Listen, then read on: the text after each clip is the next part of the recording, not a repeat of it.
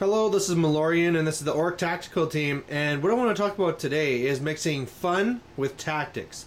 Um, we all have armies that we'd love to do, and we think would be awesome, but you know, oh, you know, we, we can't find the way to make it competitive. And uh, usually, all it takes is a little bit more thought into the army, and then you can actually have something that's your fluff uh, themed army, plus it's a, a good competitive army at the same time.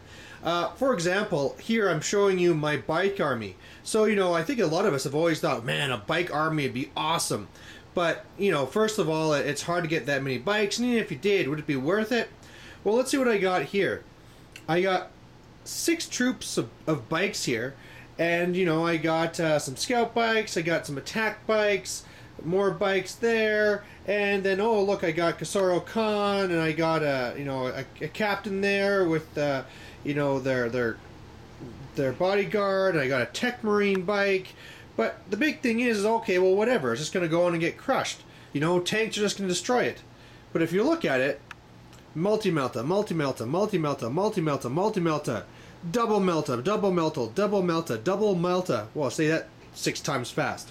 You know, three meltas here. These guys can charge bikes first turn, you know, and put krak in a melta bomb on them. Uh, over here, you know, we got Kor'sarro Khan and a whole bunch of, of power weapons. So, I mean, if I charge in, boom, with a Furious Charge, I'm going to be wiping out like nothing.